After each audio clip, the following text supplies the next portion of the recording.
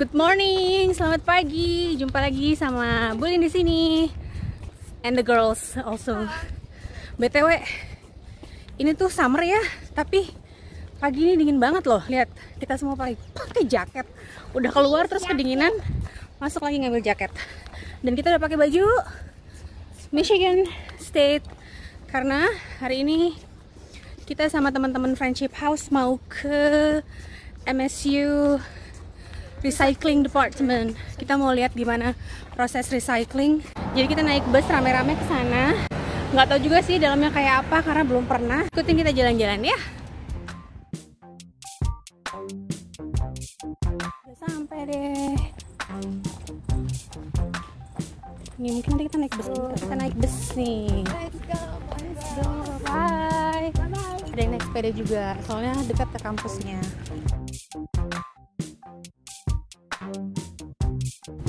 Doing? Good, thank you. Where do you want? Where are we going to sit? I have new friends from South Korea. I'm Lee Jung. Nice to meet you. Lee Jung. Nice to meet you. Where are we going now? Yeah, uh, we are going to recycle center. So exciting. There's Yes. the girls. Yes. Kakak, adik. Yeah, very good. Delicious pizza. But, uh, being around them makes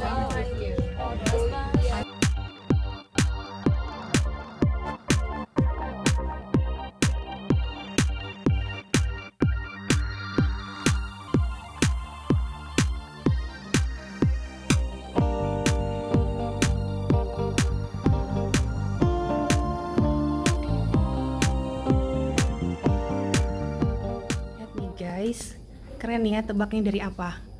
Ini dari ban bekas loh. Tuh, coba kita lihat. Oh, materialnya. Aduh, mak jatuh. Tas gue rubber tire nutup, tapi kita nggak boleh touch. Ini lagi. Tuh, sekarang lagi nunggu dulu uh, tour guide-nya. Jadi kita disuruh nunggu di ruangan. Oke, nggak sabar mau lihat dalamnya kayak apa. Nih kalau tempat sampah kayak gini tuh udah biasa banget di sini. Jadi dibagi-bagi ada yang buat kertas office paper, mix paper tuh kayak koran, kertas bekas bungkusan apa yang penting paper. Terus plastik sama landfill. Landfill ini buat sampah-sampah kayak sampah makanan, sampah basah gitu. Bagus ya ada kayak gini. Oke, sekarang kita oh lagi di situ. Lagi di tempat tunggu Mbak-mbak tour guide-nya. Cantik. Pack up and pitch in.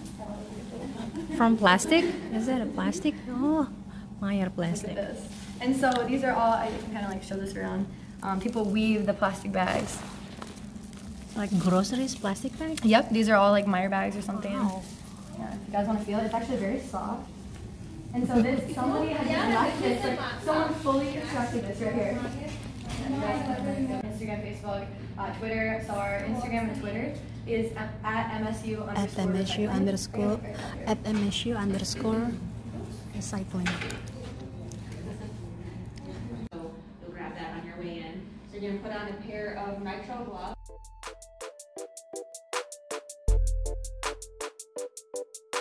That is kind and thicker. Um, organics, colored paper, some office paper, mixed paper, newspapers, um, aluminum cans for beverages, um, composting at the, the, at- well, at the, um, Kita mau berbobok sampah sekarang, cuma anak-anak kecil nggak boleh, jadinya ibunya aja. Kita mau sampah, jadi pakai sarung tangan dulu.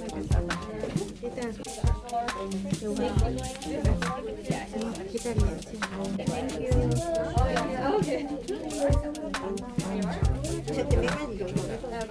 Kita pakainya dua lapis karena takutnya ada benda tajam. Anak-anak sebenarnya nggak boleh ikutan, cuma si adik ini aja. Iseng aja pakai kecil. Eh yang kecil pakai sarung tangan ini. I'm gonna make sure all the adults have them first. Here you are. Just make sure that the children don't sort. Yep, thank you. Adik nggak boleh pegang-pegang ya. Baunya, baunya mayan. gue nggak pakai tutup ini biar bisa ngomong. Smells so good.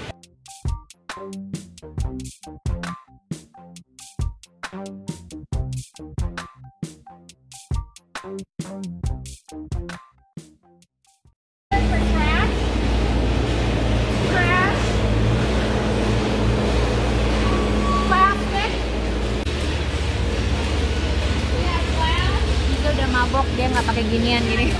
Nggak, Adi pegang. I, I need to listen to her.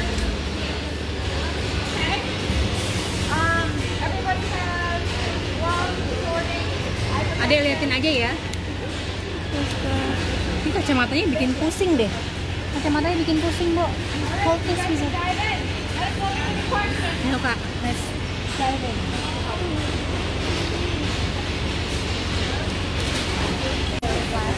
Plastik. Just say, so a lot of this is food wrapping and a lot of it is contaminated. Contaminated when it has food waste on it and it's not clean. So what you can do, tear it off. So this part is okay to recycle with paper. This part you can put in the garbage, in the trash. Okay? Jadi ternyata kalau piringnya udah kosong, udah kotor begini, ini nggak bisa masuk ke mix paper. Ini masuknya ke garbage. Kalau ini kalau tempat minum yang masih bersih ini masuknya ke apa tadi? Mix paper.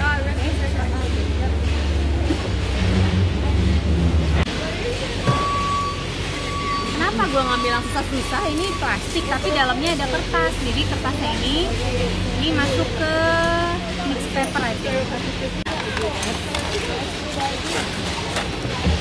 How about tissue? Is it tissue? Tissue, um, trash. Udah keluarin plastiknya, eh udah keluarin kertasnya. Sekarang plastiknya masuk ke refuse eh, alias garbage.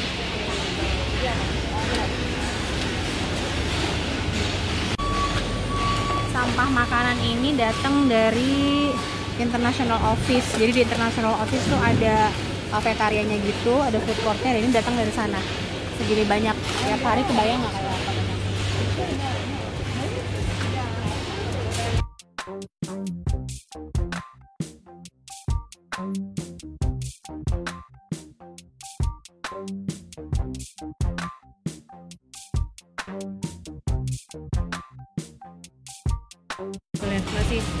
Deh ini masih penuh gini sayuran dibuang-buang lihat. Dilihatin Kak. Nggak kelihatan.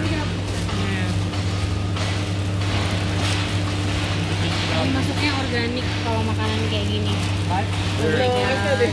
Look at that ya, it's still very good. Lihat Amerika ya, kalau buang-buang makanan ya. lampu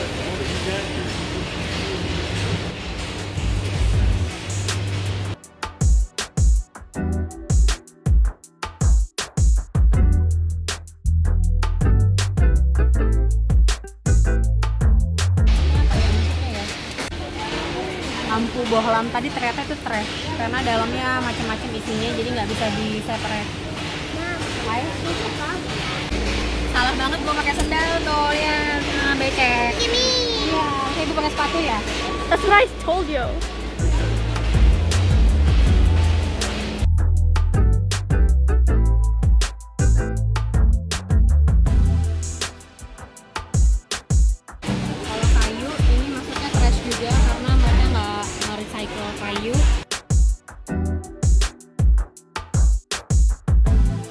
Udah bersih dari tadi dari tadi banyak sekarang udah habis Like 30 minutes.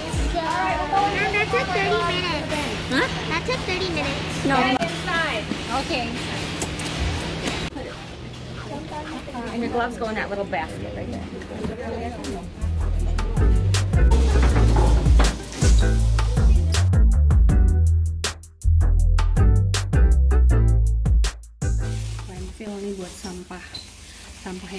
Deh pokoknya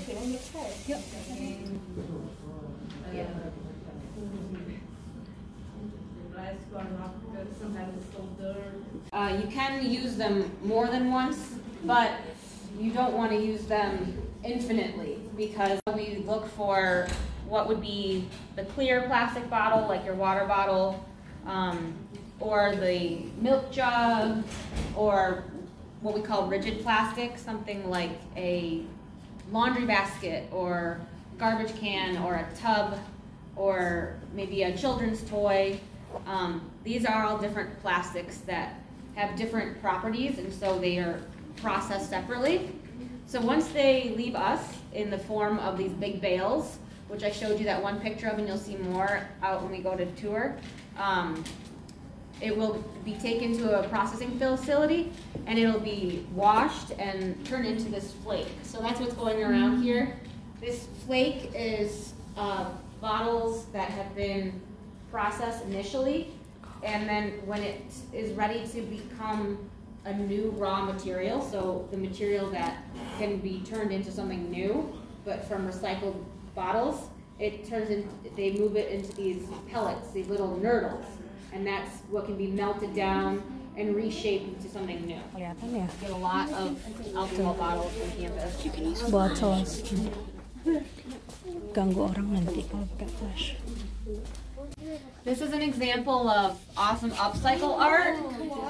So here it is, a, um, a bike wheel that's been turned into wall decor.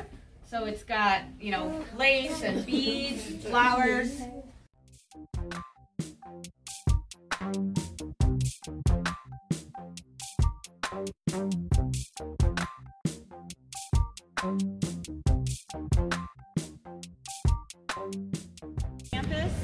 and from our drop-off center gets brought to us here. Um, the trucks bring it in through these big open doors here. They will dump it on the floor and then we'll separate it by type into these different bunkers so here we have our paper here we have our plastic Paper, plastic, mixed plastics mixed and then on this one it looks like it's the films so plastic film so bags plastic films. uh, saran wrap, pouches, food wrapping, that sort of thing. And then we will choose one of those commodities. We call it a commodity, um, the type of material it is. Commodity because it's going to make us money. So then we will take that, and we have the bobcat, this guy right here, Tuh with this bobcatnya dek. big front end that will grab it and haul it over to this little uh, tray right there. And then it gets sent up this line here. Gets sent up the, uh, the, the conveyor belt and it goes onto the sort line. So behind this yellow railing is the sort line, and that's where all the students Tuh yang kerja So students if di sini. paper, they're looking for the office paper. One person might be looking for cardboard. One person might be looking for boxboard. That sort of thing. Kayak diikat pakai kawat yang kuat banget katanya.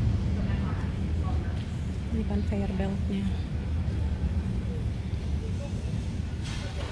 Oh, all day.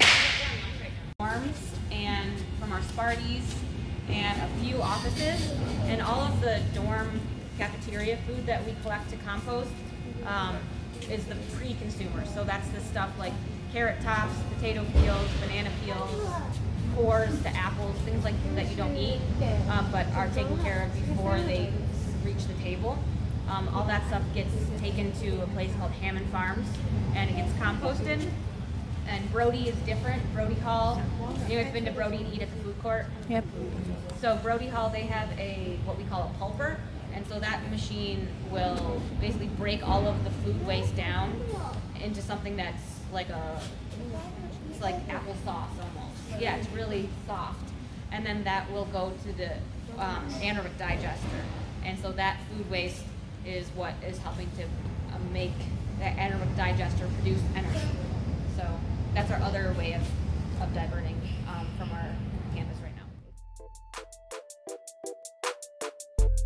Kalau kalian punya alat elektronik yang rusak kayak TV, handphone, atau komputer, itu kalian bisa bawa ke sini dan nanti mereka akan coba perbaikin. Tapi kalau ternyata nggak bisa diperbaiki, mereka akan minta itu sebagai donasi dan kemudian akan di disassemble.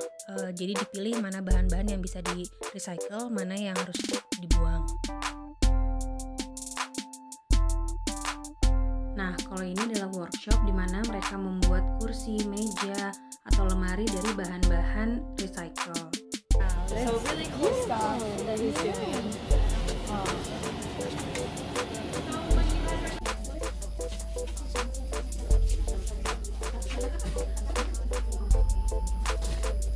Udah selesai turnya. Sekarang kita on the way to the bus and then go back to Friendship House and then go home lapar. Ya semoga kalian suka sama tour kita kali ini dan mudah-mudahan nanti ada tour-tour berikutnya. Oke okay, bye.